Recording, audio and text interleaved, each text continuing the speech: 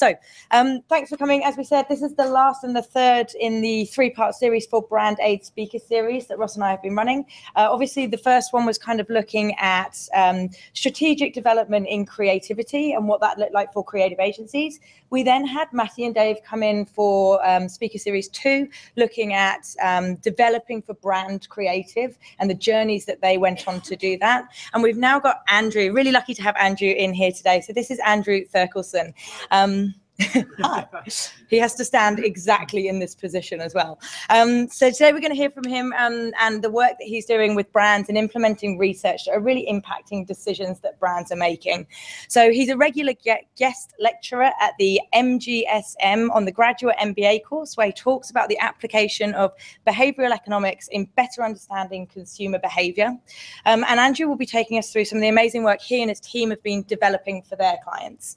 So this includes some case studies into the application of micro moments, which is all very kind of familiar to us, um, and the impact of culture and some of these case studies involving behavioral psychology. So all of his research is helping inform clients and impacting their decisions that they're making about their brand activity. So I will. We're going to have a Q and A at the end. So anyone that's on the live stream, please ping through your questions to me, which is V. If you do V Birch, you'll find my at handle. Uh, anyone in the room as well, but we'll do the Q and A at the end. So I'm going to hand over to Andrew. Thank you very much. oh, oh, thank you. Sorry, I just got a bit of a sudden frog in my throat.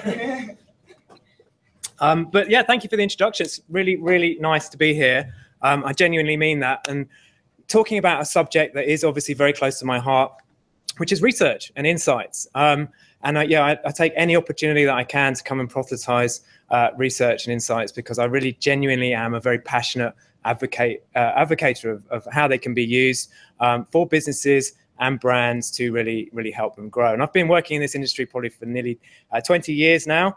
Um, and it's been a very it's been a fascinating journey uh, for me um, and, and seeing how research has really changed um, over that time i'm going to talk a little bit about that today as well um, so really i'm going to break the uh, the session up into into three parts um, my background is really in, in qualitative research. Um, and that is getting under the skin of why people do what they do. So I'm going to tell you a little bit more about how qualitative research works and the background to qual research. I'm also going to tell you a little bit more about how uh, how it's changed over the last few years as well, and some of the newer methodologies that we're starting to adopt, um, like behavioral economics, um, like sort of UX and, and like co-creation, human-centered design, lots and lots of new ways of, of kind of interacting with customers. Um, and then lastly, I'm going to talk you through a whole bunch of different case studies um, of work that we've done um, that I hope will help you get a sense of the way in which companies are engaging with, with consumers and insights um, to really help them take the next step and, and take their, their businesses into new directions. Um, so as I said, I've been working in this industry for a long time, and I've noticed, you know, over time the uh, the word research has kind of changed bit. You know, we don't talk so much about market research anymore. We talk about insights professionals. We talk about behavioral psychologists. Um, you know, and, and, what we actually refer to uh, as ourselves has has kind of changed over the years. Um, and the type of work that we we, we do for clients has certainly, um, I think, become more embedded into their businesses. But overall, this is a, a, general summary of what qualitative research is. Um, and it's really understanding the why and the how behind people's actions and decisions, their beliefs, their values, and then understanding to a degree what the mental mapping is, the processes that they use in their psychology um, to interpret the world around them, to create meaning um, and, and, understanding for them so that they can make what they believe are better decisions. Um, and we're making decisions all the time um, every second of, of our life, we're trying to make decisions about what to do next. And much of that is actually subconscious. So qualitative research is to get underneath the skin of you know why people behave as they do and try to go a little bit deeper into the, some of those sort of motivations and beliefs and, and, and, actions and values. So it really has its roots in, um, in psychology, in sociology, um, in, in, human geography, um, in, in, sort of um, yeah, sort of sociology, I suppose, is at the heart of it. But over the last few years, certainly moving more into these things like linguistics. We're using neuroscience, um, and as I talked about, behavioral economics as well, which is a, a sort of a growth area for for research. but all researchers have this innate kind of curiosity about people. And that's where we start with a lot of our work. It really is just understanding people better. You know, that's why I really love the industry that I'm in, because it very much is a human human industry. It's about understanding real people and why they do what they do. And we tend to take three lenses on on people. Um, first of all, there is that very human level uh, of behavior. Then outside, you know, going up a level from that, you have culture and how culture shapes us. Um, and then above that, we have kind of categories and brands, and they have an influence on our decisions as well. Um, and what's happening at the moment is clients, a lot of our clients are becoming what they say are more kind of customer centric, right? So customer centricity and creating products and brands and services and experiences that are very much based in what the customer wants and what will suit them um, and what will work with their psychology is where a lot of our, our clients are moving towards. And so, as I've as I said at the beginning, um, research as a as a profession is actually becoming more important to clients, and they're really embedding insights right at the heart of a, of a lot of their decision making. Um, and those insights can come from lots of different areas, right? So it's not just the, the lens that we put over it as, as qualitative researchers or even sort of brand strategists. Um, they have lots of data points from, from lots of different areas, as you guys would, would well know. So fusing together all of that data in a way that means something and then creating a story that will help those brands grow is really what uh, is at the heart of our job. And so we have lots of different types of clients and lots of different types of challenges, which I'll talk to you about in a second. But these are some of the types of work that we tend to do. Um, a lot of clients is, at, at, the moment asking us about their purpose. And why do we exist? What do we want to give back to the world? What meaning do our customers take from what we do? And how can we shape our brands for the future so that we're actually much more purposeful about what we do um, and, and actually being clear about our strategy moving forward. It's not just doing everything, but doing things that really create the, the momentum behind the brand. Um, then there's brand positioning, there's brand architecture, brand portfolio planning, um, a lot of innovation work. Clients are trying to work out where that next kind of uh, big territory is going to come from. Um, and that's where we do a lot of work with culture. That's what I'll talk to you about in a second. Um, a lot of service design work as well, um, experience design. We do like creating trade stories for, for a lot of our clients as well, so they can actually, you know, use real customers to show to their clients that they understand their world um, and that, that, that helps to sort of grow the category as well um, cultural insights, journey mapping, a lot of kind of human centered design work that we do at the moment as well, bringing customers really into the heart of the iteration of products and, and services as well, working directly with them to co create solutions based on their needs. And that's the really important part here, is really much based on the needs of, of real people. But as I said at the beginning, the way in which we do research is changing, and it's changing because the way we understand and what we know about human behavior has developed a lot over the last sort of five, ten years. Um, and you would know books, I, I, imagine, like Nudge and Predictably Irrational by Dan Ariely, fantastic um, pieces of work, Thinking Fast and Slow by Daniel Kahneman. These types of, of um, pieces of work have really challenged the way we think about customers and customer behavior. Um, and we know that just asking people what they do, people are pretty poor witnesses to their own behavior. And actually, I read a statistic the other day that, in fact, probably about 70% of our memory constructs are artificial. We just make them up. We put in place what we would have liked to have happened. They're sort of broadly true, but the actual specifics of them are generally fairly flaky. Um, so that really flies in the face of, of a lot of the methodologies, which tend to, you know, just more crudely say, why did you, you know, what did you do? When did you do it? Why did you do it? And a lot of those, that information we can get from elsewhere now as well.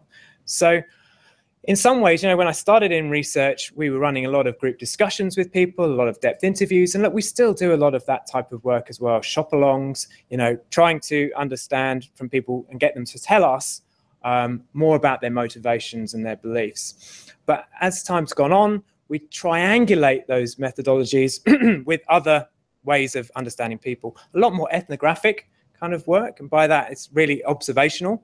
and that is getting to the heart of real behaviors and the real truth of, of, of what people do. As they sort of in the moment contextual uh, methodologies really help us understand what people are actually doing, not claimed behavior. So research is, is developed enormously, and the toolkit that we use to understand people has has really broadened. Um, so we do a lot of ethnographic work. We use mobile and in the moment to uh, sort of capture uh, pictures and videos and confessionals of people at, at the moment in time. Um, we use sort of experts and academics. We use semiotics. I'll talk about that in a second. We use a lot of online communities, getting people together on, on little, little kind of communities for some time, which all help to extend our touch points with an individual um, or a group of people so that we're not just dipping in at a single moment in time like with a group discussion. We're actually trying to broaden out our relationship with them, again, to understand them better. Um, there's more work coming online with, with sort of neuro, um, hooking people up to, to, sort of machines that hopefully get a bit deeper into the reality of their decision making. Some of that's still in its infancy, to be honest, because it's um, there's a lot of noise around the, the actual kind of mechanics of it. But as time goes on, things like facial recognition um, and, other sensory mechanisms are helping us understand the relationship people have with, with brands. BE, eye tracking, co-creation, UX, we have this huge range of different um, things to play with. And really the point I made before is we try to triangulate our, our data points. So we try and look at a sort of a single individual, not just in one moment or isolation, but through a number of different lenses. And that really helps us build a story uh, about their behaviors. And technology, as you would imagine, has really changed the way in which we, which we do things. So online uh, research is now very popular in, in qualitative uh, circles as well. Um, doing Skype interviews with people, face to face. Sorry, um, you know those online communities that I talked about before. Uh, we do some concept testing online. Just again, changing the way that we uh, we work with people. And behavioral economics, you know, the, the principles from the likes of Daniel Kahneman, um, using some of these ingrained, what we call sort of heuristics and rules of thumb, you know, that people default to um, when uh, when they're trying to make decisions quickly. Um, and when we can unpick some of the decisions that people are making, there's a huge range. You can't see it here really, but there's a huge range of these these mental shortcuts that we can um, then use and leverage and communicate to to actually get people to change their behavior. The government uses this a lot. They have what, what they call a nudge unit, which um, is a com comms unit really that helps to you know, help people make better decisions through the likes of behavioral economics. I mean, example, um, I know in the UK I was working on a tax uh, study trying to get people to pay their tax more quickly and pay it on time.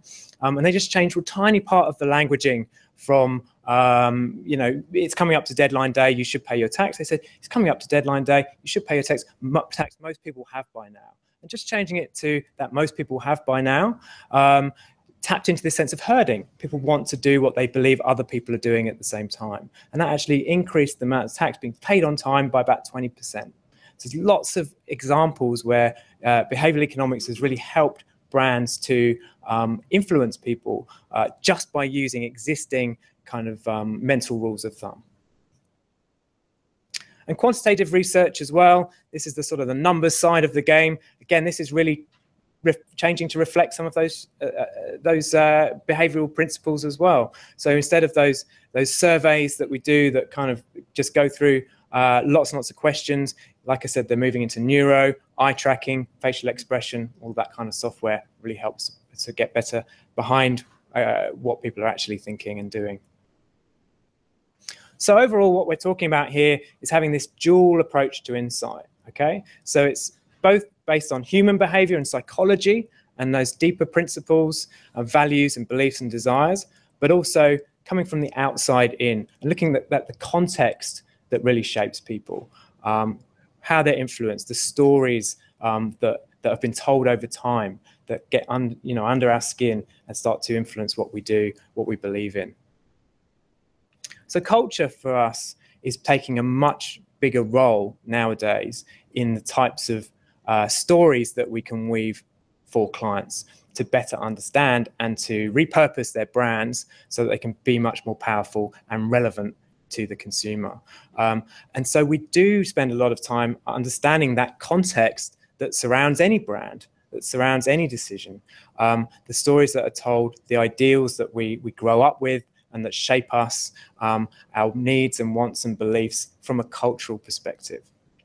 And actually, the more time has gone on, the more this idea of being culturally connected is is more and more resonant with with clients and brands, and they see it really as the next bastion of hope for um, for growth for a lot of our clients, and that's because the world is changing so quickly. You need to find avenues that are a bit more longer lasting. You need to be on the pulse of what's happening around you, um, that whole fragmented world culture lets you understand those micro moments a little bit more. It, it, helps you understand why people change so quickly from doing one thing to another thing um, and, and, helps us to capture their attention when we get those small opportunities. Um, you know, we live in a multicultural world now as well, and being able to be relevant to different audiences is much more important than it used to be. And overall, it's this idea of being agile, you know, agile and contemporary, and being adapt, able to adapt to things as and when they come up, having strategies to, to be able to um, uh, be more relevant to, to people. So we started measuring the cultural ideals of Australians and working out what's important to them. Um, we do that every every year, and, and over time we can see the trends that are appearing and help brands to be forward facing and, and on the front foot in terms of culture.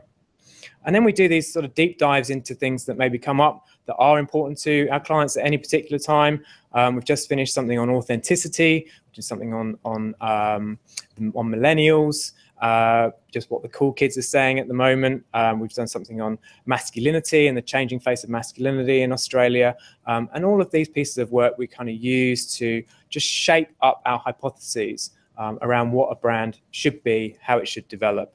Um, and it's all very real and very uh, exciting for our clients at the same time.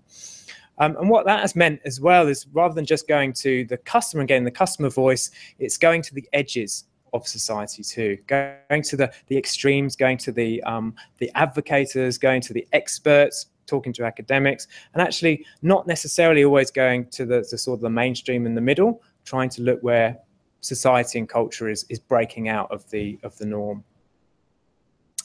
So that's a little bit of a background on, on, on insights and research and how it's changing and what we're kind of doing. Um, I'll just talk you through a couple of applications of it, um, few case studies from, from work that we've done over the years.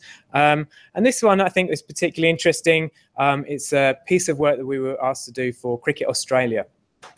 And really they came to us and said, we've got a great platform here. We've got a portfolio of brands and that's the way that we, we're looking at it now. We've got Test and One Days and, and, and T20, um, and they all have different audiences. They all have different segments that they want to attract. They all have different, potentially different ways of growing. Um, but what we want to do is become more targeted, but have an overarching proposition or idea that helps all of the brands within our portfolio grow. So it's this master brand idea supported by the different sub brands. So how are we going to do that? Um, and what we felt was at the time that cricket, it really owned this idea of summer, which was great, but it's actually quite constraining just to be about summer. So we wanted to see if there was a platform that cricket could use that maybe took it a little bit deeper and was more relevant to, to sort of more people. And really it came out of this idea of, of just Australianness, okay, and being standing for uh, Australians and, and Australia. Um, and we knew that the game was changing. We knew that the formats were changing. So we needed something that would be kind of future proofed um, over time.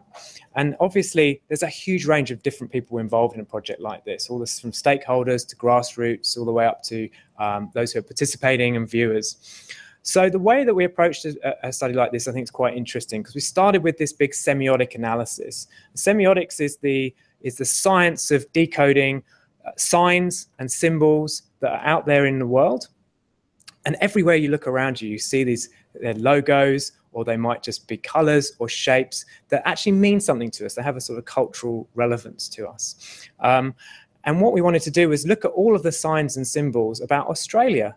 And in, in semiotics, you look at what the sort of the, the recessive codes, those codes that have maybe come and gone. You look at what's current, and in, in the mainstream at the moment, and then you look at what's emerging. And from that, you can kind of create a map of where culture is going around a particular topic. So we did that for Australia um, and Australianness. We then did a lot of interviews with different stakeholder groups um, to understand what it was about cricket that really attracted them. What was the real pull? What was the real hook? What needs did it meet at, at a sort of a deeper level? Um, and really understand some of those truths that bring the audiences together. Um, and then did some real deep fan group discussions, getting fans on, on board to talk about their connection with cricket, what it was about cricket that really made it special to them. And we ended up with a with a sort of a framework that we believed really could help them to position the different forms of cricket um, in a new and contemporary way. Um, so on the left there, you'll see a semiotic square. And what we found was there's a lot of conflicting ways of thinking about Australia and, and what Australianness is. Um, so on the one hand, you've got this really ingrained sense of strength and hard work and work ethic, right? Which goes back a long, long way. It's about knuckling down. It's about being hard yakka, about being really strong, um, about nose to the grindstone. You know, when the chips are against us, we're the sort of nation that really stands up and really, really works really hard. But then you've got this other side of Australianness, which is totally the opposite. It's really casual. You know, it is the sort of the larrikin. It's about thongs and beachwear and being outside and being really um, sort of down to earth. Right? So we've got these different kind of spaces that we, we felt we could occupy. You've got this free spirited idea about Australia as well, that we're a nation that is really innovative, um, as well as being, um, you know, down to earth, as I said before. We've got flair, uh, but we're also sort of inventive. And then when we started to think about cricket, we could actually overlay the formats of the game against those different principles of Australianness. Um, so the one day, uh, you know, sorry, the Test cricket is much more about that strength and perseverance and concentration, um, whereas the one day is more about have a go, be ingenious, flair, all of those sorts of things. So by aligning it to this, uh, this whole map, they were actually able to both work out how they should be positioned, but also some of the signs and symbols um, and, and sort of brand identity that they could bring to each of these different formats, um, position themselves against an ideal that was very enduring about Australianness and something that people find relevant and can really connect to. So all of those things really came together for them to create that compelling story, something that they knew they could, um, you know, move forwards with, and uh, would keep the brand, all the brands alive. So that piece of work was very great, and it actually won a lot of awards, and there's been a real great case study for us. Um, this one's uh, uh, I wanted to share with you because it's a bit more about the kind of the customer journey, and and also it was a bit more of a trade story as well. Um, so this was for APN, um, and this was about the transit media audience and how that's changing over time. Um, and of course, we know that over the last few years, you only have to look around on public transport to see that the, what we do on public transport is obviously massively different to what it might have been a few years ago. People are buried in their phones, they're reading their iPads. Um, you know, the whole behavior has changed. And so for a company like APN Outdoor, they're saying, well, how do we remain relevant to an audience that is so easily disengaged when they're in that kind of uh, when in that um, in that transit moment? Um, so they needed a story that they could take to their clients that was about people, was about human behavior, was about culture, that went deep into people's lives and stories, was robust and rigorous enough so their clients would actually believe it, um, and that would be able to keep alive uh, their media and play to a real strength of it. So with this one, again, similar kind of format of work we did some cultural analysis um, to really understand the meaning that people attach to to travel more generally and to attach to kind of being outdoors and outdoor space. Um, we did some a, a lot of in-depth interviews with people on their travels and actual eth proper ethnography, just sitting and watching and being with people as they're in transit. Um, we did a big online survey as well to quantify some of the um, the findings that were coming out of this about what people found important about the way that they engage with media um, while they're in transit. Um, and we did some immersions and some storylines. What we found was, as people were evolving their transit behaviors, they're actually starting to disconnect with the world. And we see this in a lot of our kind of cultural work, and, and you would know it as well. This sense of a tension between being hyper connected and and, uh, and, able to get everything instantly, but also losing this sense of, of sort of reality and personality and connection. Um, and so we found this really interesting space for uh, for for these guys that was about my real world, and this for them was a really potent idea that in transit, there's still an opportunity and there still is a space for people to connect with things that are really real and part of their everyday life. Um, part of, you know, they people actually get quite connected to my train, my bus, um, quite connected to the people that they see around them, and that they're still operating in that sort of real environment.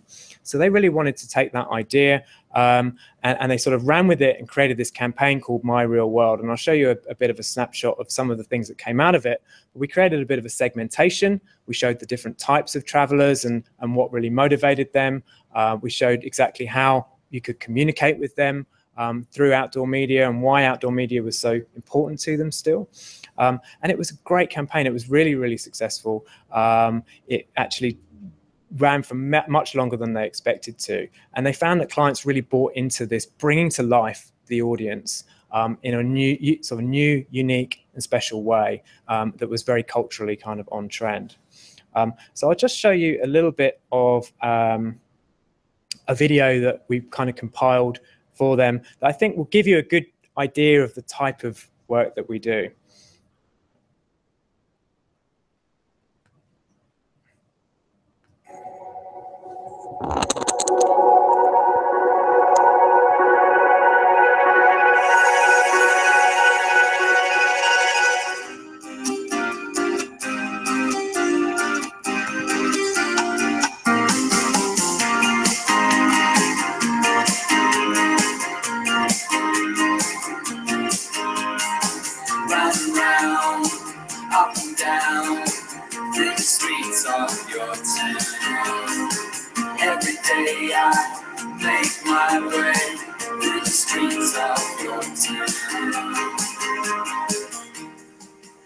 As long as uh, we're running on time, it's pretty good.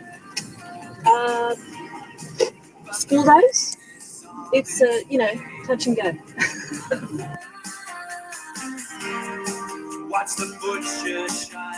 it's only what I hear on the radio coming home from work or going to school. Like you need to read a paper, then it's I like that. I like skimming through the paper when I get a cup of coffee. I try not to like, watch too much television. And same for my children. Telly's always on. Yeah. So um, the kids are watching one of those reality things. Like I'm watching it, but I'm not watching it. Yeah. If you know what I mean. I don't like heavy metal music and stuff, so I avoid those channels. but the kids like listening to the newest hits. Thank you. and I take your boat out to the reach. I think those wrapped buses and that are quite good, and the kids definitely notice those. Um, they love it how you can see out, but you can't see them. Yep. And they just, yeah, they just like that wrapped effect. They catch your attention if you're behind one. the streets of your town. Every day I make my way through the streets of your town. I won't show you all of that, but uh, I think you get the idea, right? Let me just get back to the Prezi. Okay. And then play? Yeah, yeah. Okay. So again, you can see that just bringing to life the audience, um, showing them in the moment, showing those micro moments as they exist and the thoughts that are going on behind uh, what they're doing is a really compelling story for, for advertisers. Um, and it really does help them to grow their category and show that it's still really relevant. Okay, another one that's slightly different, bit of a step change. Um, as I said before, getting a lot of interest in millennials and how they uh, how they interact with the world and why they are as they are. Um, and actually, one of the projects we did recently was about millennials in wine, um, and this is about off trade and again, pretty big exploration around brand, around packaging, around the types of varietals that might influence them, profile, proposition, all of those sorts of things, and exploring the customer journey in wine more generally, um, and where the ejection points are for them, and where the injection points are as well, I suppose. So for this, we knew that there is going to be a big difference between what people say about wine, what they believe are their ideals, and then what they actually do in trade. Um, we know that social has a huge part to play in this and the interactions that they have sort of socially and what they discuss and what they explore together um, and then also just generally about millennials, what we think about them as sort of one audience, but actually they're really quite different. There's lots of subsegments within millennials. You need to be able to talk to them quite differently uh, and, have products and services and, and, brand identities that are different for each of them. Um, so what we did with this is recruited people into sort of little friendship pairs to try and get that social, conversational, narrative understanding. Um, both with people who are drinking kind of more or less different types of wine as well. Um, but we tried to be a little bit more relevant to them with this as well by doing um, some sort of WhatsApp group discussions. Again, this was tapping into those micro moments where where they're actually making a decision point, um, and asking them to interact not only with us but with their friends. What's coming top of mind? What's important to them at that point? What are the what are some of the decision making factors? Um, and then we brought them all together to do sort of generative co-creation, um, creative group discussions to get them working on the problem, putting them, the customer, at the heart of uh, of creating the solution. Um, and all of that was iterative over time. Um, like a lot of our work, it's kind of test test pretty quickly, you know, fail fast, come up with something, try it, test it, move into something else. Um, and actually, by the end of it, we created this kind of customer journey map. And showing exactly where the key opportunity areas were to influence those millennials um, and why. Set of five principles um, that we knew were organizing principles for this audience that we knew that they could uh, sort of work with. And this one's uh, again a little bit similar. You know, we do a lot of work in FMCG, um, and a lot of it is about identifying those new spaces based on unmet needs. Um, and this was the creation of, of potentially a new sub range. This is a tea brand. They recognized a gap in the market. Um, they could see that there was a competitor out there that was really tapping into that gap in the market with a younger demographic that they'd ever got to. So they really needed to understand that gap, understand that demographic, um, and then create a supermarket sub brand range that would tap into the same uh, same needs. Um, so again, this was about finding the right audiences um, and understanding what it was about the the other brand in the market that was really driving that appeal, um, understanding the semiotics of the category, what's driving tea drinkers to make the choices that they they make, um, create some brand territories, um, and, then run co-creation sessions again to bring consumers into the heart of the innovation process. Um, we uncovered some unmet needs, um, and then found these two spaces that the tea brand could go into, um, and then gave them a lot of guidance, in fact, around flavors, uh, pack design, even the languaging that they should use. And that was really all driven from a better understanding of that millennial, uh, sorry, from the, uh, the, younger kind of millennial audience as well. So bringing that uh, information into what they should actually do next. Um, I just wanted to show you this one as well. I thought this was quite a relevant case study um, from uh, Channel 9, who came to us and said, um, We've got lots and lots of information, and we're doing a good job in some ways of connecting with people at the right moments. And we know that that is our, our challenge, and they have this multi screen kind of journey. Um, but how can we do it better?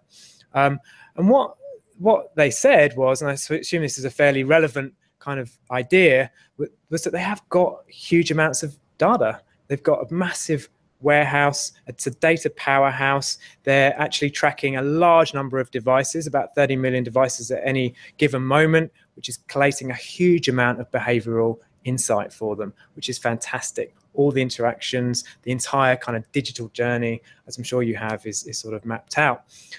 But they were looking around the business and saying, does anyone really understand what, what is genuinely happening in some of these moments? Can you feel it? Can you understand the people that are there? And some of them, you know, could feel it from their own point of view, but weren't able to necessarily think about what's it like for a mum out in Parramatta, or what's it like for, uh, you know, little kids, or what's it like for the elderly. And what they called that the, the empathy gap. And so our job was to try and close that empathy gap for the business um, in some way and overlay some of these qualitative insights onto what they already have, uh, which is a huge amount of data. Um, so we did lots of immersion sessions with this, really immersing ourselves in those different audience types. Um, particularly, it was around breakfast and the morning TV sort of slot, um, and better understanding those audiences and the needs that they have and how they separate out, um, so that we can provide, uh, you know, they could provide a better experience for different audiences. Um, so I'll just show you a little video that, that Nine put together that we presented at a different conference as well. Um, that brings this to life a little bit. Nine Entertainment Co. is growing smarter, and all thanks to the way we collect, analyse, and use data. You see, every time one of our 15 million registered users picks up a smart device, plays a game, logs into a computer, or opens an app, we're learning a little bit more about them. We do this by looking closely at their media consumption journey and motivations in three key areas behaviour, device, and especially need state to help better our understanding of the individual. We then implement our learning to deliver better targeted and more engaging content and advertising that flexes and changes to meet our audience's need state and deliver greater ad engagement. These needs vary according to the three Ds device, day part or time of day, and day of the week to ensure we can tailor the right content to the right people at the right time. Let's see how this breaks down in the behaviour and device landscape of two example demographics when inspiration strikes early in the morning. Our first example is a 27 year old man. Let's call him Dave. And then there's Sally, a young mum with a little one on the way. Monday morning, and Dave is up early to get a head start on his hunt for a new job before heading into the office. Today could be the day he finds the perfect job. Sorry, Dave, no luck today. But we're sure there's something out there for you. Across the country, at Sally's home, things are a little different. With two kids to dress and get off to school, things are more than a little hectic. Ah, that's better. Mum finally has a moment to rest and let her mind wander. The need state of inspiration the possibilities of change emerged for both demographics, which then allowed us to interpret this for publishers and advertisers. But, you know, that's just breakfast. And only two stories from the millions out there. At Nine Entertainment Co., we're growing smarter every day and diving deeper into data than ever before to bring richer, more engaging content to our ever expanding audience.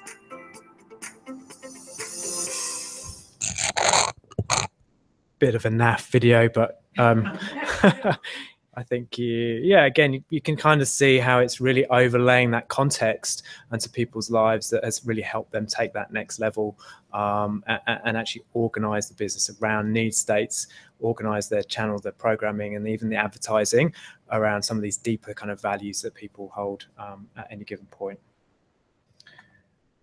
Um,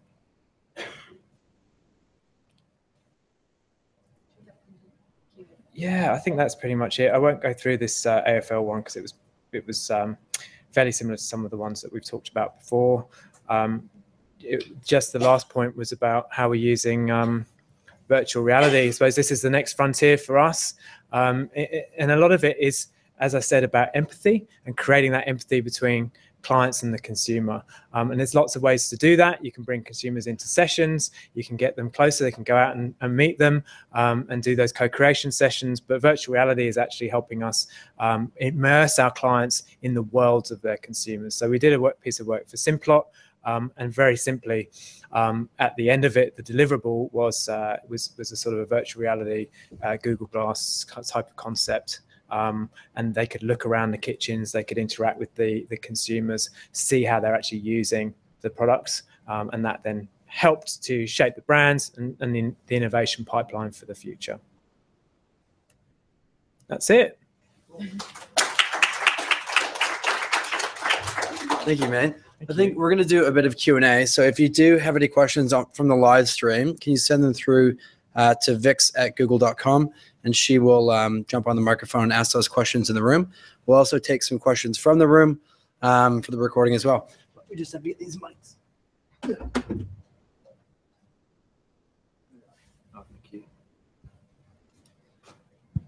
Hello.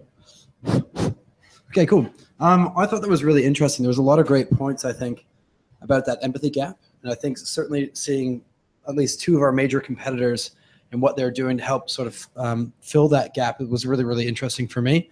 We, we see a lot of decks um, about YouTube specifically and the numbers and the growth, but I rarely see things about the emotion of people watching that content, what it means to them, and how it impacts their lives, even when they're watching it. Not just the content, who they like and who they admire on YouTube, but what it's like to be able to get their kids to watch it for some babysitting time. We, we rarely actually see live interviews that way. So it was really interesting to see some of that work being done, um, even for outdoor media, which I thought was quite cool. Um, I just wanted to ask, I guess, you know, obviously you, you are looking for the human truth out there, which is really interesting as a, as a job. What, what are some of the oddest sort of research experiments that you've been involved with to help understand that truth? Because it seems like you had a lot of tactics out there or maybe one of the most shocking learnings I guess you've had by employing a different tactic? Yeah, good, good question. Um, is that yeah, hear, yeah, hear, okay. Um, yes, I, I'm constantly shocked in this job. Honestly, it's like from one day to the next, you seem to find yourself in some very bizarre situations. I was in Turkey doing some work, watching truck drivers filling up their trucks and they started having a gunfight and we had to sort of shelter in a truck. Um, yeah, just, that's a good one. Yeah, yeah. and um, and you, I suppose if you put yourself into the moment and you really are with people, anything can happen. And I suppose that's where you know a lot of our methodology has moved forwards into uh, being a little bit more in that kind of contextual moment and being a bit more observational.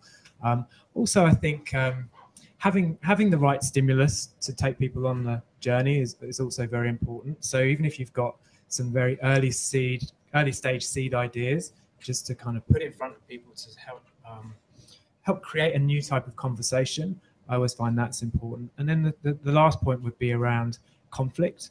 So we actually now run quite a lot of what we call conflict groups, where we get people from very, very different sides of the argument, I suppose, and different attitudes to talk together and try and persuade each other of their own kind of point of view. Um, and that's where you get some fascinating learnings around what people really believe in, what they hold really valuably dear to them, and how they can be influenced through uh, through narrative and culture and, and, other kind of points of view and conversation. Great. Is there any questions from the room? Yeah, obviously. Yeah, I have a million questions. Maybe I'll, I'll this. I actually might grab you after this. I'm Maureen. I um, head up the strategy and insights team that sits within the sales team. Oh, great. So I would definitely love to pick your brains. I, I'm looking at Tia over there. I saw you taking lots of notes too. Um, so one of the challenges that we have here is because we're an engineering company and our foundation is search, like what Ross was talking about. I think we we um, tend to skew really heavily on the rational arguments and um, proof points that people um, for, that explain people's behavior or even the way that we talk to our clients. Um, if we're thinking about kind of change management internally at Google and helping convince ourselves that it's okay to lead with a human insight or think about emotion more rather than having to have all of the quant data points, how do you work with clients who have that same challenge? that, that is a really excellent question because it is it's a very contemporary issue right now. Um, and the truth is, the clients themselves have to come to the conclusion that customer centricity is the future, um, and that has to be driven from the top quite often.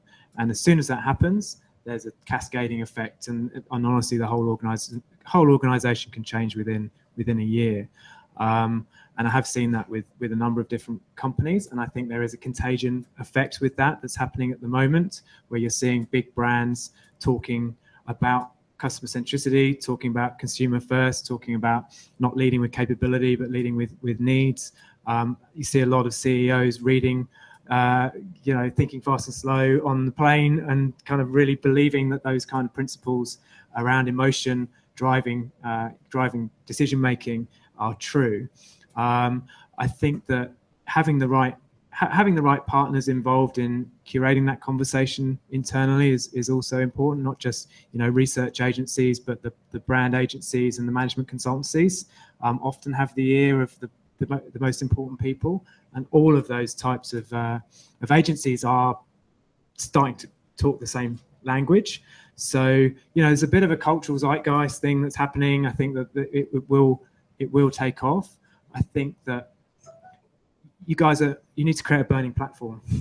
that that's part of the problem because you're not actually under much threat. You know, you're doing really well. It's only when you can see the you can really outline a future that is less rosy that then you need to look at other solutions. So I would suggest that that is part of the the strategy as well is to actually think about horizons, think about futures that actually aren't as spectacular as perhaps they are at the moment. I'll pass it on, but I have five more questions. Yes, of course. Thank you so much. Um, I really like that you, uh, when you talk about the immersion of um, looking at consumer experiences and learning from that. What is what are some of the ways that you can do that, and what are some of the ways that we can do that more um, as well? Yeah. Well, again, truthfully, we have probably been transitioning more to digital um, to, to help do that. Um, simply because it is so much easier for people to access. We get geographic coverage. Um, everybody's on their mobile all the time. There's some great apps and, and platforms that allow us to do that. They're research specific. Um, so we use Revelation Global, which is one we use Recollective, um, and people have those installed on their on their phones, on their desktop. And then we just get com- small, like-minded communities of people together to um, comment on topics, to upload photos and videos. We, we spend a lot of time engaging them in that process as well, because it's one thing to just get it up and running, but it's another thing to actually get great content out of people. And that's where it can be slightly trickier because it's easy to do a group discussion and say, hey guys, we're here together, we're going to have a great time. And they sort of come on the journey with you. But digitally, it's a little bit more remote. So you have to invest some of yourself into that process as well. You know, doing your own introductions and, and videos and calling people to and sort of triangulating it that way. But I would certainly, I would, I would suggest that having a, and you probably have these already, but you know, like co-creation communities um, that you know you can go to on certain topics that are always there that are sort of set up allow us to interact with customers on a very regular basis. Um, I also quite like just um, having a customer listening program where you where you bring real people into the building on regular basis, um, and you get a cross-functional team of, of people around to sit and chat and listen, like a sort of a speed dating, but a little bit more purposeful.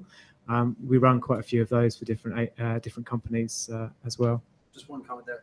One of the most powerful sessions I have experienced at Google was when we had ANZ, um, and we had like four millennial you know, customers of theirs get up and they were talking to them about TV advertising and calling them up on the phone for recommendations. And the panel just ripped the entire marketing team apart by going, I don't even own a TV. I don't, I would never answer a phone call from my bank. Thanks, but no thanks.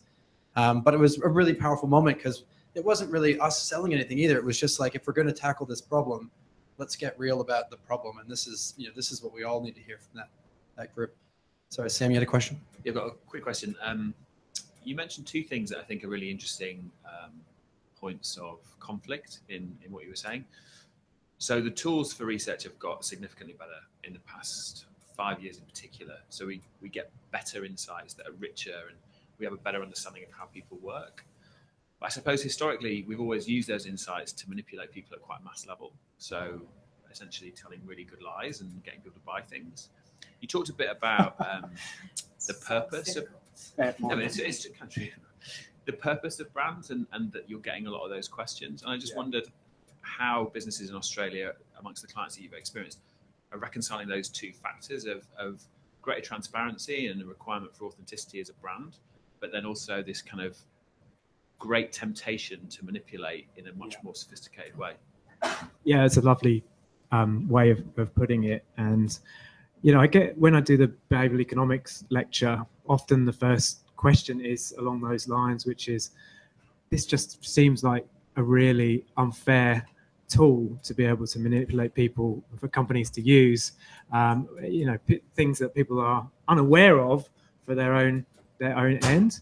Um, but what you know, my my feeling is that if you become customer centric and you genuinely are using research and insights to create strategies for people for things that they need, then that in itself is a fairly worthy purpose. And so I always keep that at the heart of kind of what I'm trying to do. And when I'm talking to people and interviewing them and we're doing research, it genuinely is about, well, what do you guys want? What would you, what would work better for you? How can we improve this service? How can we make it so it's something that you, you, you want more, you want to do more. It's a better experience for you. And because everyone is so cynical nowadays, um, they see through they, they are really starting to see through the um, even the most sophisticated of uh, ways of trying to market to them. So you're seeing, particularly with that younger audience, uh, an immediate pushback on anything that feels sort of over marketed. Um, and that's why I, I, genuinely feel like companies are, are not saying, let's be authentic because we think we can sell more stuff. We're saying, we we need to be authentic or we will be irrelevant in the future. Um, and because the world is changing and actually um, people only buy into purpose driven brands sort of eventually, and there's a commercial market for that as well, it sort of feels like the Nexus is coming together quite nicely. Is there a question? Yeah. So a couple last questions and we'll wrap up. Okay, so a quick question from Alex, um, who's on the live stream, which is there's a lot of contemporary books out there, for example, Small Data by um, Martin Lindstrom, um, which seems to simply be a case of qualitative research instead of an over reliance on quant. He's asking, do you appreciate the personalities in this space, or is it kind of simply a repackaging of the known tools? Uh, yeah, again, really nice question. And there is a lot of repackaging going on at the moment, I have to admit. And to some extent, I'm kind of guilty of it as well. You know, BE honestly is a bit of a repackaging of uh, of what we've always done in, in Qual and understanding psychology. It's just a resurgence of some of the principles that have been around for a long time. Um, human-centered design, same thing. UX, same thing. You know, they're kind of really only only really just getting at the point that understanding people, their needs, their motivations, and their emotions is critical for businesses and brands to grow. Um, how we do that and how we, we we get companies on board and engaged in it is sort of in, in flux and it's cyclical. You know, having been doing this for now 20 years, you sort of see things come in and out of fashion, but the fundamentals of it don't change. Um, I think almost to your point as well before, you sometimes need something a bit different and sexy to be able to get a company to corral around it and wake up. Yeah, exactly. So, um, uh, so, so I do appreciate that thinking. I really do appreciate the, the things like the small data because they give us a, a another way to proselytize, you know, the stuff that we we're doing already. Um, what I don't appreciate though is the fact that sometimes, you know, some of those tried and trusted techniques like group discussions, they have a place, but if you uh, if you buy into all of the rhetoric too much, you can basically say asking anybody a question about anything is a waste of time. That's not that's not true. It's just that you need to be able to triangulate that data with all sorts of like framing it up in, in, in different ways. So yes, it's it's great that it's popularizing. Um, it's dangerous in some respects, um, but anything that I think can get that message out there about bringing the customer into the process, bringing emotion into the process uh, of brand development, I think is is helpful. And then I just had one other quick one, which is actually from Jess. Um, she, you may not know this off the top of your head, but she was asking in the Channel Nine example, they uh, referenced a 15 million data set. She's saying, was that Microsoft data? I will have to get back to you on that one, Jess. I'm very sorry, but I will take that question back to nine. No, I don't know if you'll know this off the top of your head. But, um, I'm, I'm, yeah, I'm really sorry. I don't, I don't know, but I'll find out. I, we have a good relationship with, with nine, so we can find that out. Andrew, thank you so much for today. It was really useful. I hope you guys enjoyed it. Um, appreciate it. Thank you. Thank you, everybody.